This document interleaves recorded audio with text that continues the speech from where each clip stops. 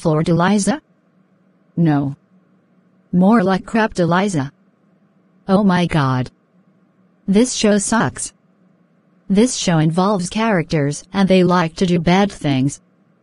It has spanking, like in this picture. This picture is showing us Lisa's dad spanking his daughter with his belt. That's child abuse. In this next picture, it is a scene of Chris explaining to Lisa what Daisy did to her for her to be Daisy's puppet.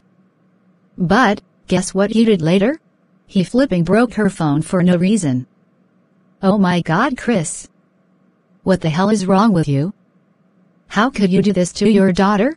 And, not only that, but Lisa's mother called her daughter evil. Seriously Beth. Why would you call your daughter evil? You know that that is very heartless to call your daughter evil, that could make Lisa cry even more.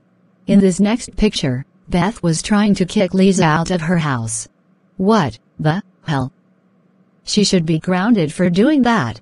And finally, in this picture, you will not like this picture ever.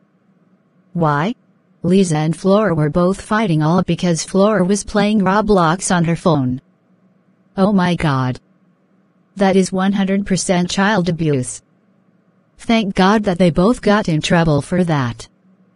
And thank God it got cancelled on August 28, 2015. I don't know who likes this show, so I will leave it be.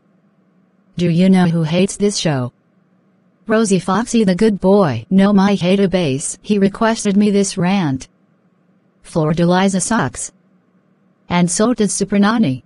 Naruto is one million times better than Flordeliza, end of rant.